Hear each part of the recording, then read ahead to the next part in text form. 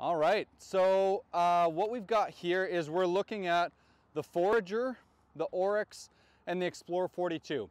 So these are the three tandem boats in Alpacka's lineup. Um, and we get a lot of questions from people who are like, we want to paddle with two people, but we're trying to figure out which boat is best. There are some sizable differences, but I'll talk about some of the comparisons as well. So we've got cargo flies on all three of these models so that you can store gear inside and repair them from the inside and the outside, that type of thing. The Forager is going to be your only self-bailing option.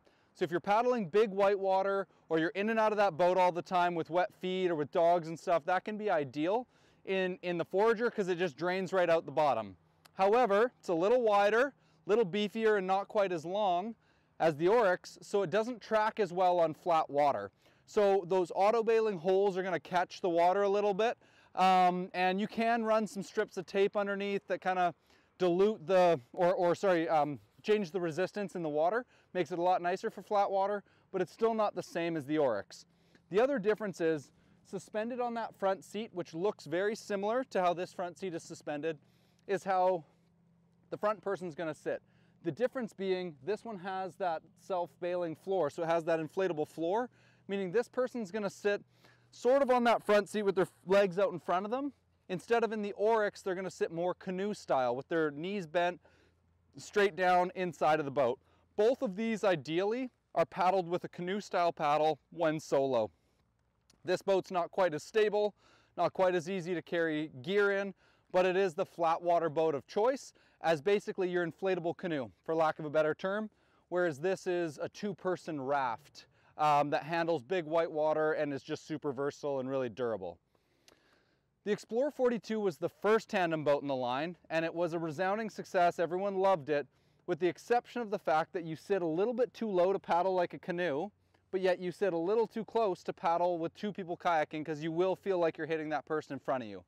So they've changed their marketing, and it's certainly our uh, experience as well at Mount Waddington's, that this boat is best as a one-person boat with a kid or a dog or a very small front person, or you're only using a front person to get across a lake or a river on an expedition or a trip or something.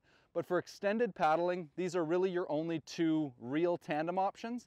And this one here, you can use with two people. I'll, I'll sit in each of them. I'm 5'10". Um, I'll sit in each of them just to kind of show you how, uh, how that comparison works.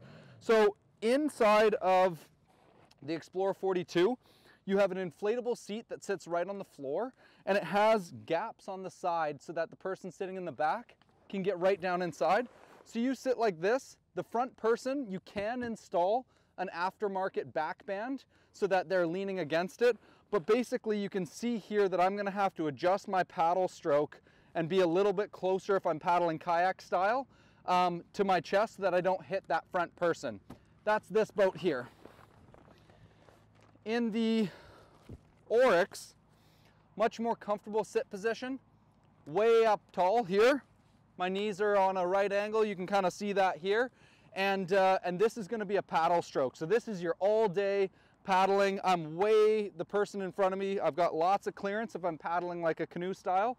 Um, and this person here is sitting on these inflated seats. I didn't strap it in. It does tie in for that reason, just to show you. These are inflated blocks that really give you that lift and the front person can sit how they need to and paddle as well. Whereas over here in the Forager, you sit up on the stern like this. So whereas the Oryx has the seat in front of the stern, on this one, the back person sits on the stern, the front person sits on that seat, which artificially gives you more room inside the boat. So as, as I'm paddling tandem, I'm now way in front of that person's back. I could probably barely touch that secondary person, meaning you're gonna have room for gear and duffel bags and all this kind of stuff on bigger trips. So those are the three tandem models and there's pros and cons to each of them. Um, yeah, and we're happy to walk you through any other details you're looking for.